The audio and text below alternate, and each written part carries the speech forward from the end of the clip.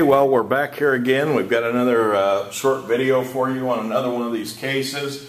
Uh, this case here we're going to talk about is called Griswold versus Connecticut.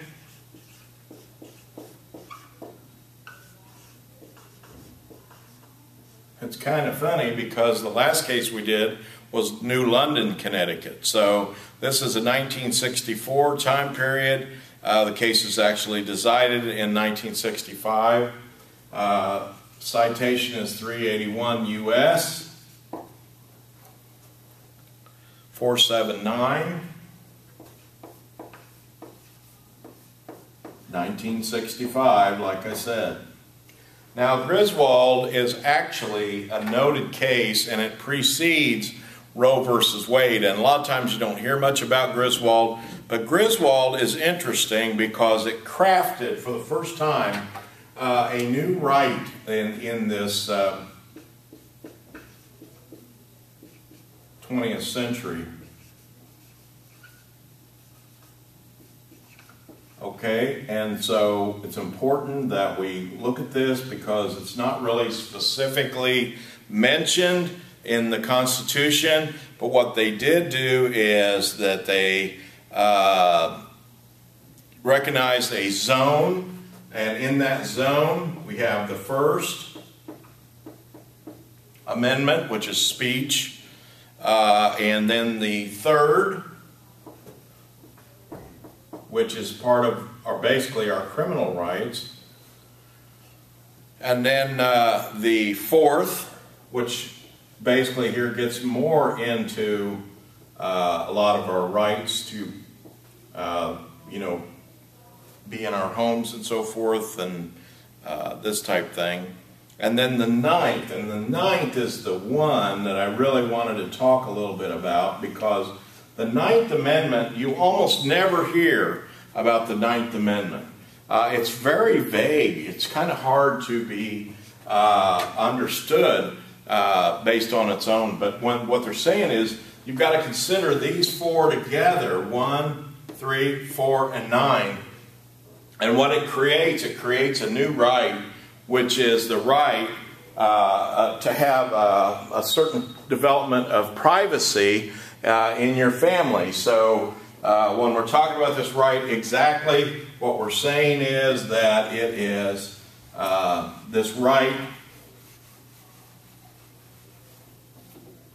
to a family to be, you know, have their own privacy. So it's a certain right to privacy again. Okay, so here again, we're talking about our little scales here. And this time, what we're saying is, uh, this is uh, safety, public welfare, and this is freedom. So it's over in here that we're focusing. And they're saying on this particular case, your freedom of association, your right to privacy, these type things that are found in these amendments that I mentioned, first, third, fourth, and ninth, indicate that you have this certain right, and it's a right to privacy in the marital relation. So uh, this is a right to privacy in your marital relation. So in other words, uh, in a marriage, if you decide, for example, that um, you want to uh, go to Planned Parenthood, and that's exactly what this was about, uh, basically instructing people on, um, you know, uh, birth control. And so what they're trying to do is help uh, you know, families that weren't really ready to have children or wanted to limit the number of children that they have, help them achieve that. Well, what ended up, you know, happening is it's uh, there was quite an argument on this, uh, and so some people came down on the side of Connecticut.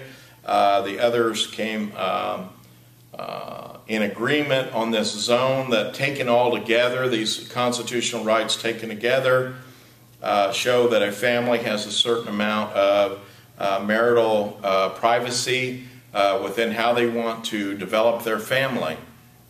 And so they should have the right, if they want to involve themselves in uh, family planning and want to engage in birth control, then they should have that right. Now, I've often said, and I think that you heard me say somewhere else, that this is like a precursor to Roe versus Wade, which came later. but this was a step uh, along that direction. And so uh, at this time, there were actually some places that kind of followed the Catholic Church's views and said, uh, no, no, no, no, no, no, no, no, no, no birth control. Let nature take its course. Course, whatever nature wants, nature will get. So uh, basically, uh, you need to stay out of it. So here again, interesting uh, number of people who uh, voted for it, pretty strong, seven people in favor uh, and two against. So generally speaking, a pretty strong decision in favor of the right of the family to make these marital decisions. So uh, Griswold, not real easy to read here. I didn't write it too good. That's uh, Griswold. And so here again, what we're looking at here is that freedom won out in this particular one more so than the public welfare, general welfare, or safety. So uh, it's hard to understand how it's important for the government to nibble into uh, people's family life. And so that's why 7 to 2 they agreed that there should be uh, this fashioning of this new right called a right to privacy within the family. So look, look over that. Tell us what you think in the forum. Uh, and then uh, you can even research it, shepardize it, see what you come up with, what comes after. Uh, in fact, right now, more and more I'd like to see you doing shepardizing in order to get more engaged in, um, you know, understanding the before and after of these different cases. So, hey, I hope that you gained some good out of this. Um, I'll be in touch again with something new very soon. Thank you.